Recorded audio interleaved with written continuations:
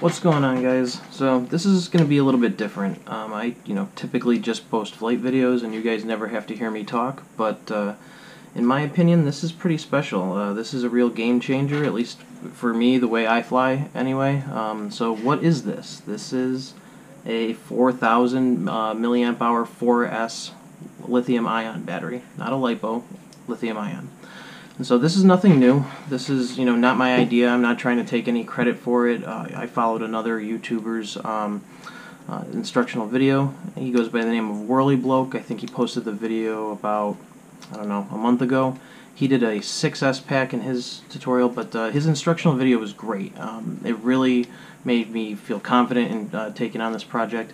Um, so yeah, I built this myself with the help of a couple friends, and um, so far so good. Uh, we did the maiden flight on it this morning, and that was about 18 and a half minutes of just solid uh, 40 mile an hour cruising on a 7 inch quad.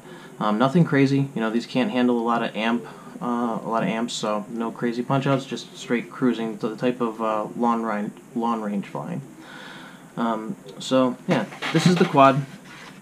Um, it is a 7-inch Tyro uh, 129.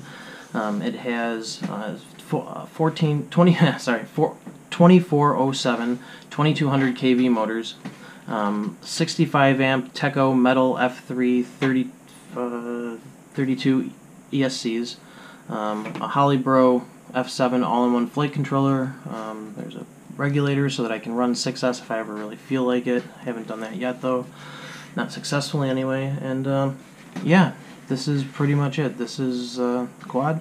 And uh, yeah, I'll leave you guys with the flight footage. It's a full 18 and a half minutes on the maiden flight, so I'm going to speed that up a little bit, but you can keep track of the flight time on the uh, OSD. Um, so yeah, thanks guys.